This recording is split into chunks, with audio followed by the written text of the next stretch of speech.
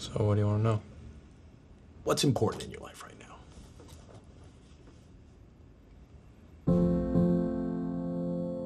I think if I disappeared tomorrow, the universe wouldn't really notice. There's a girl, though. Okay, you've read through every solitary interaction I've had on every single website, Mom. Honey, you know I just do this to keep you safe. Okay, let me see your phone. It's a bit of an invasion, don't you think? Don't allow guilt to prevent you from doing what's right. You said something about video games?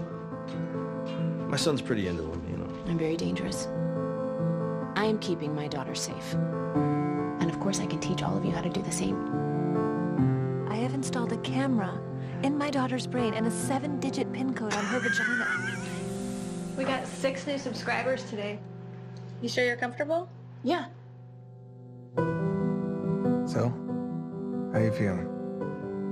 What, right now? It's been almost two months. It hasn't. Last time was after that barbecue at your sister's. So, you're a photographer? No, it's just a hobby. We use the photos on Hannah's acting website. Oh my god. Remember when you saw her for the first time? Well, we do too. And we are happy to bring you back to those remember when experiences with someone new. I'm gonna head out and see my sister this afternoon. I think I'll just end up staying the night. Maybe I'll call Kent. Go out for some beers. Hey, you haven't done that in a while. How come you didn't respond to my message? My mom.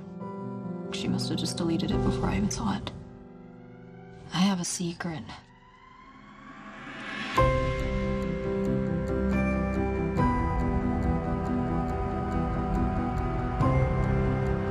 Don't seem to understand how dangerous it is on there. The only thing that's dangerous in this house, Mom, is you.